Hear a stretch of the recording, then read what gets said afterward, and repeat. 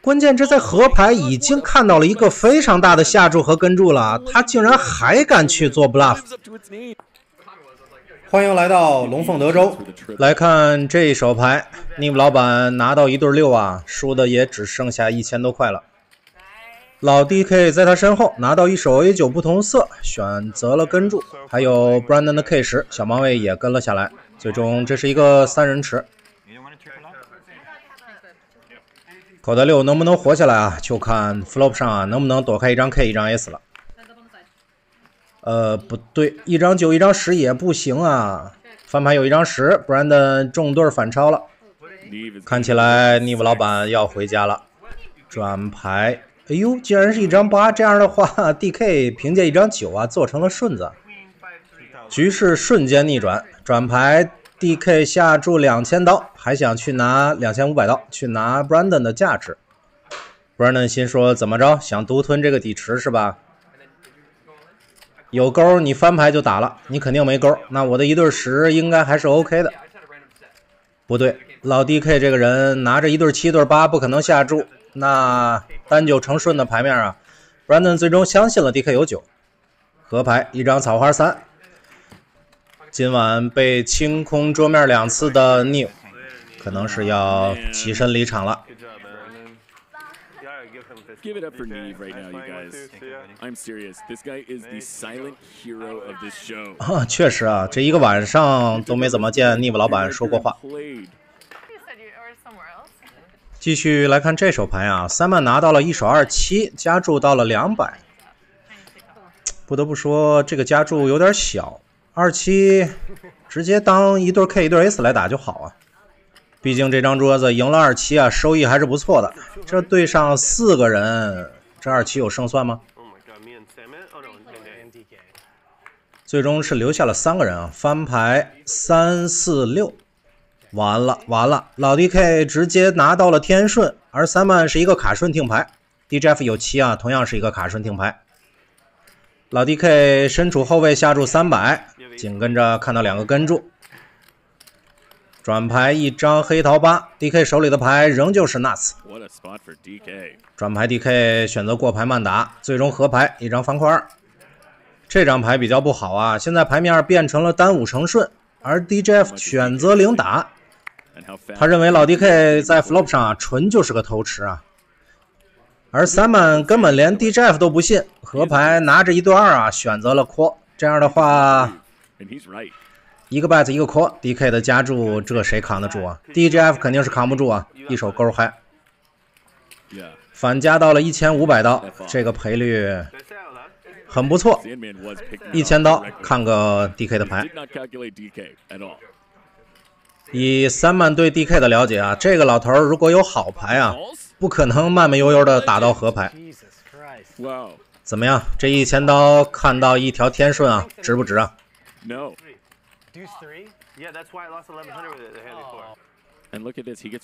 继续往下看，DJF 和自己的欢喜冤家 DK 啊，又撞到了一起啊。DJF 手里两千三百刀全部推了出来。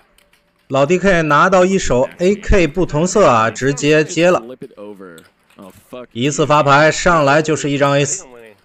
今晚上 DJF 也是有够倒霉啊，每次跑马他都能输啊，谁对上自己谁都能反超，爱咋咋地吧，反正输光了也不止一次了，今晚也就这意思了，运气一直就上不来啊，他真的就上不来。记得上周 DK 在这张桌子上的发挥啊，非常的不错啊。不过这周他又回归了最原始的状态啊，不停的在送。继续往下看，Natekill 拿到一手 AKS 四百刀的加注，象棋皇后 Botis 后卫 K 勾跟注，还有老 DK 的一手七八同色。Flop 上两张八，DK 拿到开门的三条。不过这手牌远没有结束啊，Nateio AKS 恰好是两张黑桃啊，再掉黑桃就是老 DK 的噩梦了。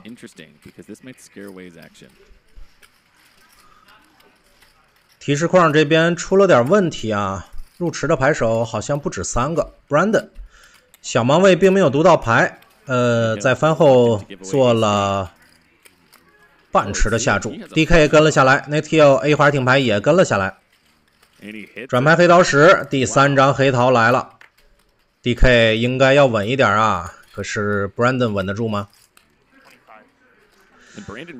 啊，五千三百刀的坡，Brandon 在转牌打了两千五，这是拉 DK 下水呢。本来这个底池还可以控制控制啊，这前面有个人不停的加注啊，Natekill 拿着大牌在后面跟住，这你受得了吗？而到了转牌，仍旧能看到一个非常重的 bet 和一个 call，Natekill 应该是要加注了。这个时候加注不出意外啊，至少有一家应该也能跟下来啊。我现在就希望。Brand 能跟下来，不然的话很有可能。大哥到底拿了什么牌啊？咱们有可能会看不到啊！如果他盖牌的话。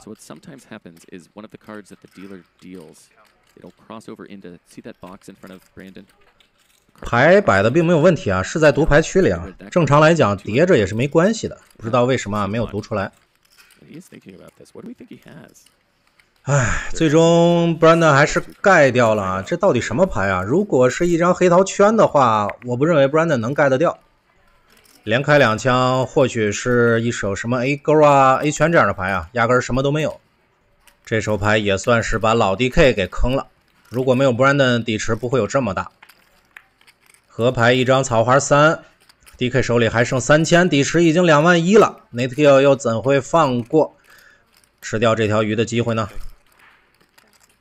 一个 check，一个 all in，紧跟着一个跟注啊，这手牌结束了。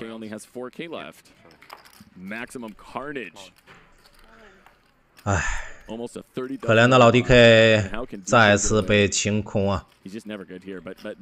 已经打到这一步了，DK 应该很清楚，Natekill 手里啊只能是一手同花，不会是别的。DK 也知道转牌自己已经落后了啊，他只是希望合牌能看到一张五或者一张七。将近三万的底池被 Natekill 收入囊中，DK 再次输光。接着往下看，Yara 难得入池啊，可是 AK 为什么不加注呢？AK 甚至没有做一个三败。哎呀，这手牌，这是一个四人池了，翻牌四六七两张方块。Brandon 和 DJF 凭借着一张五拿到一个双头顺的听牌，而 Simon 的八九呢也是一个双头顺的听牌。Brandon 下注五百，DJF 秒 call，Yara AK flop 上没中牌，直接盖掉。这手 AK 打的怎么说呢？明明翻钱可以直接收池的牌啊，仅仅就看了个翻牌，转牌，呃，还是一张七啊，一张红桃七。Brandon 的牌力大幅度提升啊，现在变成了一手花顺双抽。过过过，没人打了，合牌，红桃二，Brandon 做成了最大的同花。不过这是一个公对面啊，可是他所担心的葫芦会不会存在呢？三千五的坡下注两千，正常拿一个价值啊。DJF 肯定是跟不动的，一手 A 嗨，三曼也是一样啊。这手牌应该已经结束了。真是啊，还能干什么呢？什么也干不了啊。三万打两千，或许会有两张红桃，或许会有一张七，或许会有一个超对都有可能啊。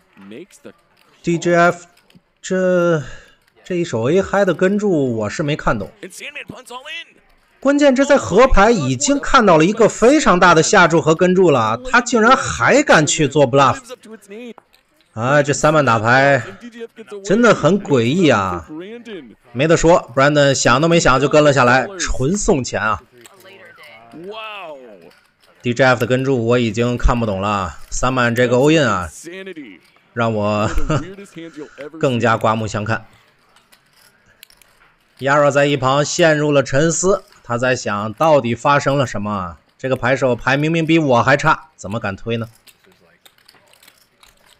好，那么随着这手牌结束呢，这张牌桌的战斗也暂且告一段落了。咱们来看看最后的结果。